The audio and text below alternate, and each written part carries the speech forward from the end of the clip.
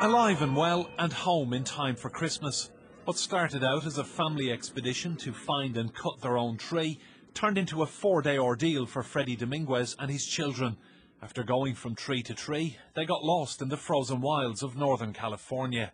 My kids are relying on me, and I'm I'm scared. You know, I, you can't tell you can't let them know that you're scared. So I'm telling them we're gonna be all right. I promise you we're all right. So my, and I was relying on God. I just said, God, I I, I completely need you now because my kids, they you know, you just go you go to survival mode.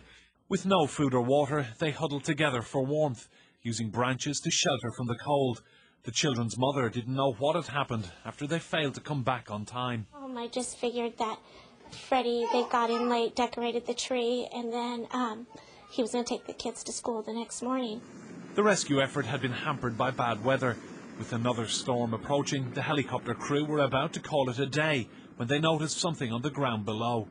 Uh, luckily for my uh, my partner here, he was able to see the father come out and start waving, and as he turned, we were able to see a little help sign that they made out of twigs on the road. It took two trips to relay the family to safety. 15-year-old Alexis and 12-year-old Joshua were brought out first.